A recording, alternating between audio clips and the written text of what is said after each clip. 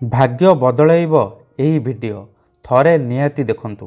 ଯେଉଁ ଝିଅ ପଟୁନଥିଲା ସେ ଝିଅ ଆପେ ଆପେ ପଟିଯିବ।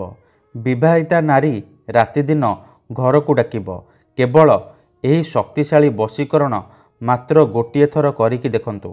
ହଁ ଫ୍ରେଣ୍ଡସ୍ ଯଦି ଆପଣ କେଉଁ ଝିଅ ବା ବିବାହିତା ମହିଳାକୁ ମନେ ମନେ ଭଲ ପାଉଛନ୍ତି କିନ୍ତୁ ଯେତେ ଚେଷ୍ଟା କଲେ ମଧ୍ୟ ତାକୁ ପଟେଇ ପାରୁନାହାନ୍ତି ତାକୁ ନିଜର ମନ କଥା କହିବାକୁ ଡରୁଛନ୍ତି ଆଉ ଆପଣ ଚାହୁଁଛନ୍ତି କି ସେ ଝିଅ ବା ବିବାହିତା ମହିଳା ନିଜେ ଆସି ଆପଣଙ୍କୁ ଭଲ ପାଉଛି ବୋଲି କହୁ ତେବେ ଆଜିର ଏହି ବଶୀକରଣ ଭିଡ଼ିଓଟି ଆପଣଙ୍କର ଇଚ୍ଛାକୁ ପୂରଣ କରିବ।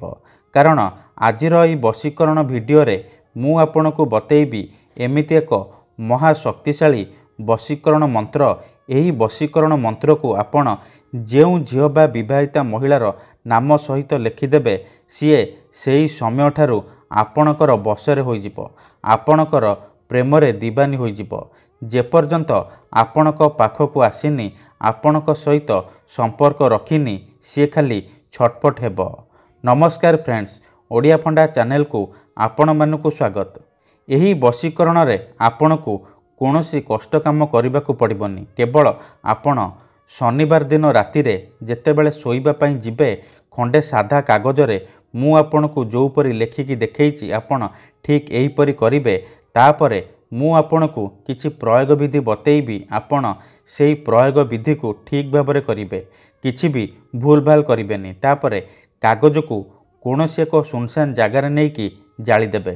ଯେମିତି ଏପଟେ କାଗଜଟି ଜଳିବ ସେପଟେ ସେ ଝିଅ ବା ବିବାହିତା ନାରୀ ଉପରେ ପ୍ରଭାବ ପଡ଼ିବା ଆରମ୍ଭ ହେବ। ସିଏ ଖାଲି ଆପଣଙ୍କ ଆଡ଼କୁ ଆକର୍ଷିତ ହେବାକୁ ଲାଗିବ।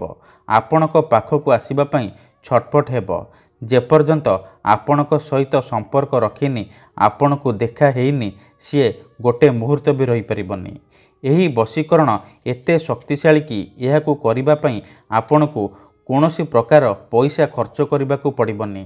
ବିନା କୌଣସି ପଇସା ଖର୍ଚ୍ଚ କରି ଆପଣ ଘରେ ବସି ବସି ଏହି ବଶୀକରଣକୁ ସିଦ୍ଧ କରିପାରିବେ। ଆଉ ନିଜ ପସନ୍ଦର ସେ ଝିଅ ବା ବିବାହିତା ମହିଳାକୁ ମୁହୂର୍ତ୍ତକ ଭିତରେ ନିଜ ପ୍ରେମରେ ଦିବାନୀ କରିପାରିବେ।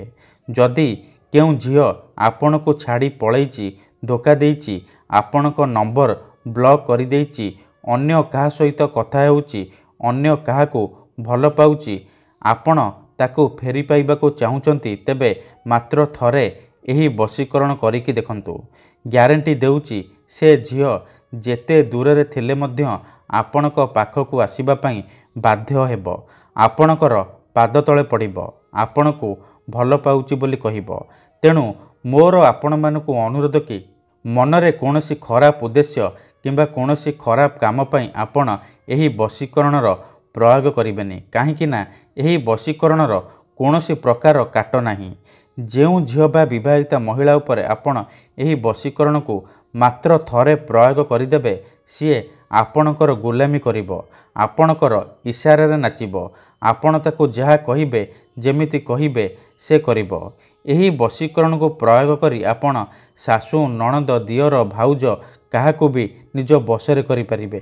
ଆଉ ତାଠାରୁ ମଧ୍ୟ ନିଜର ମନ ମୁତାବକ କାମ ହାସଲ କରିପାରିବେ। ତେଣୁ ମୁଁ ଆପଣଙ୍କୁ ପୁଣି ଥରେ କହିଦେଉଛି ଏହାକୁ ଆପଣ ଭାବିଚିନ୍ତି ପ୍ରୟୋଗ କରିବେ। ଠିକ୍ ଅଛି ତେବେ ଏହି ବିଧିଟି ଆପଣ କିପରି କରିବେ ମୁଁ ଆପଣଙ୍କୁ ବତେଇବି। ଜାଣିବା ପାଇଁ ଭିଡ଼ିଓଟିକୁ ଶେଷ ପର୍ଯ୍ୟନ୍ତ ଦେଖିବେ। ତେବେ ଯାଇ ଆପଣ ସମ୍ପୂର୍ଣ୍ଣ ପ୍ରୟୋଗ ବିଧି ଜାଣିପାରିବେ। ଠିକ୍ ଅଛି ପ୍ରଥମେ ଆପଣ କ'ଣ କରିବେ? କେଉଁ ବି ଶନିବାର ଦିନ ଆପଣ ଏହି ବିଧିକୁ କରିବେ ରାତିରେ ଶୋଇବା ପୂର୍ବରୁ କରିବେ ରାତି ନଅଟାରୁ ରାତି ଏଗାରଟା ମଧ୍ୟରେ ଆପଣ ଏହି ବିଧିକୁ କରିପାରିବେ। ବିଧିଟି କରିବା ପୂର୍ବରୁ ଭଲ ଭାବରେ ହାତ ଗୋଡ଼ ମୁହଁ ଧୋଇ ସଫା ବସ୍ତ୍ର ପିନ୍ଧି ଆପଣ ଏହି ବଶୀକରଣ ବିଧିକୁ ଆରମ୍ଭ କରିବେ। ଠିକ୍ ଅଛି ତେବେ ମନେ ରଖନ୍ତୁ ଏହି ବଶୀକରଣ କରିବା ପାଇଁ ଆପଣଙ୍କୁ କେବଳ ଖଣ୍ଡେ ସାଧା କାଗଜ କଳା କଲମ ବା ମାର୍କର ଆଉ ଅଳ୍ପ ଟିକେ ଲାଲ ସିନ୍ଦୁରର ଆବଶ୍ୟକ। ଏହି ତିନୋଟି ଜିନିଷ ଆଣିସାରିବା ପରେ ଆପଣ କୌଣସି ଏକ ଜାଗାରେ ଆସନ ପକାଇ ଦକ୍ଷିଣ ଦିଗକୁ ମୁହଁ କରି ବସି ପଡ଼ିବେ ଧ୍ୟାନ ରଖିବେ ଯେଉଁଠାରେ ଆପଣଙ୍କୁ କେହି ଦେଖିବେନି କିମ୍ବା ଅଧାରୁ ଡାକିବେନି। ତାପରେ ଯେଉଁ ଝିଅ ବା ମହିଳାକୁ ଆପଣ ବଶୀକରଣ କରିବାକୁ ଚାହୁଁଛନ୍ତି ତା'ର ନାମ ଆପଣ ଏହିପରି କାଗଜ ଉପରେ ଲେଖିବେ। ତା ପାଖରେ ପ୍ଲସ୍ ଚିହ୍ନ ଦେବେ ଆଉ ତା ପାଖରେ ନିଜର ନାମ ଲେଖିବେ। ଦେଖନ୍ତୁ ମୁଁ ଏଠି ଉଦାହରଣ ରୂପରେ ଯେଉଁ ଝିଅକୁ ବଶୀକରଣ କରିବାକୁ ଚାହୁଁଛନ୍ତି ତା'ର ନାମ ଲେଖିଛି ସବିତା ପ୍ଲସ୍ ନିଜର ନାମ ଲେଖିଛି ରମେଶ।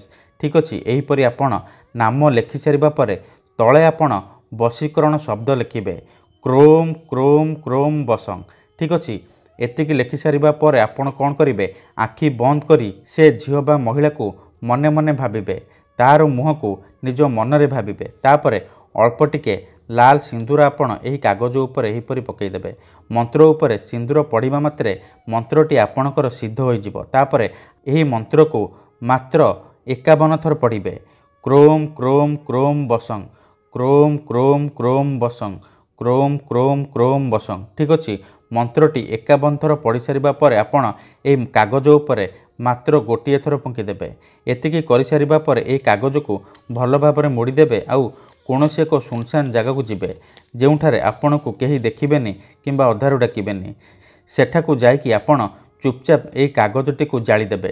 ଯେମିତି ଏପଟେ ଏହି କାଗଜଟି ଜଳିବ ସେପଟେ ସେ ଝିଅ ବା ନାରୀ ଉପରେ ପ୍ରଭାବ ପଡ଼ିବା ଆରମ୍ଭ ହେବ। ସିଏ ଖାଲି ଆପଣଙ୍କ ଆଡ଼କୁ ଆକର୍ଷିତ ହେବାକୁ ଲାଗିବ। ଆପଣଙ୍କ ପାଖକୁ ଆସିବା ପାଇଁ ଚେଷ୍ଟା କରିବ। ଯେପର୍ଯ୍ୟନ୍ତ ଆପଣଙ୍କୁ ଦେଖିନି ଆପଣଙ୍କ ସହିତ ସମ୍ପର୍କ ରଖିନି ସିଏ ଖାଲି ଛଟପଟ ହେବ। ଆପଣଙ୍କୁ ନ ଦେଖି ଗୋଟେ ମୁହୂର୍ତ୍ତ ବି ରହିପାରିବନି। ଧନ୍ୟବାଦ।